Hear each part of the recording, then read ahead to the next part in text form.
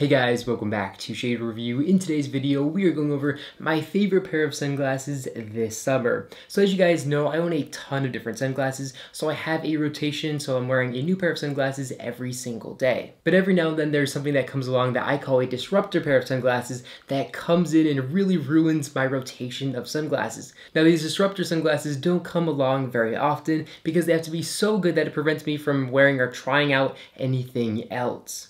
But this summer, it was the Randolph Jaeger sunglasses. These sunglasses really came in and just destroyed every other pair of sunglasses that I owned. As far as build quality goes, these really are fantastic. They are made in USA. The hinges feel really good when opening up and when closing them. And they also have these really nice lightweight lenses that you can wear all day long without any discomfort. They have fully adjustable nose rests. They do have polarized lenses. And as far as looks go, I think Randolph absolutely knocked out of the park with these. I found myself picking up these sunglasses time and time again versus any other pair of sunglasses that I have in my collection. And the more I wore these sunglasses, the more I really truly fell in love with them. In my opinion, these are just a perfect daily bow pair of sunglasses. They have that aviator style to them, but they are much more narrow or thin than the traditional Ray-Ban aviators or even Randolph Concorde sunglasses, and that gives them a really cool and unique look to them. And I also love the fact that they have this really cool double bridge style, and that the second bridge here is flat, where normally a pair of aviator sunglasses has a little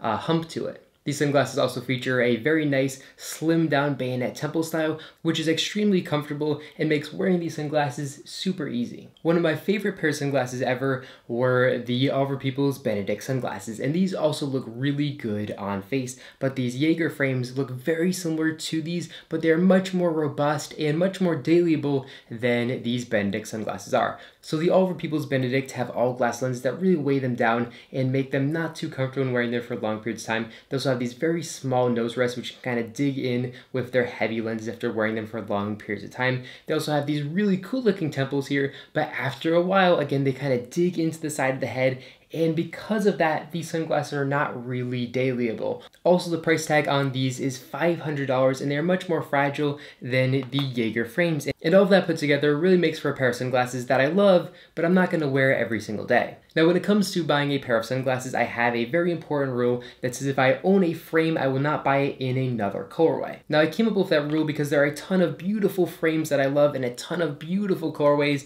And as a sunglass reviewer, I try my best to try out all the frames rather than limiting myself to one frame and just buying a ton of different colorways of that frame. Obviously, that wouldn't be entertaining for YouTube.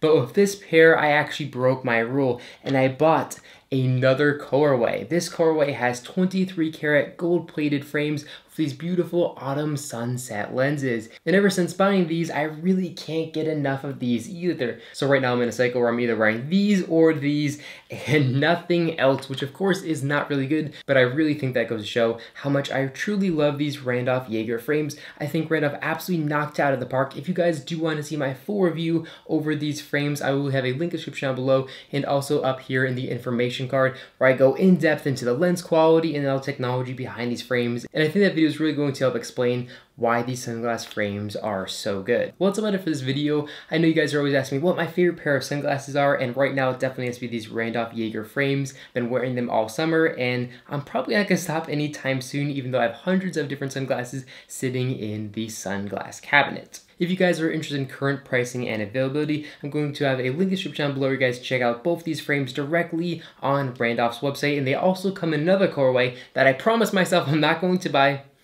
but I might end up buying it.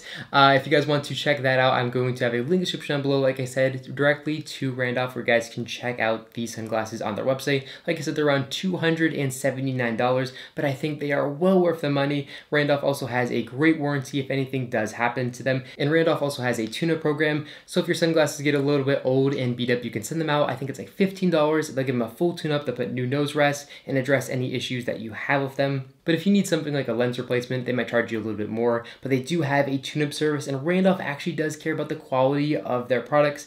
Well, that's about it for this video. If you guys enjoyed it, make sure to give me a big thumbs up down below, and of course, make sure to subscribe button, and then you'll be notified every single time I put a brand new video, just like this one, to my YouTube channel. Again, thank you all so much for watching, and I'll catch you all in the next one.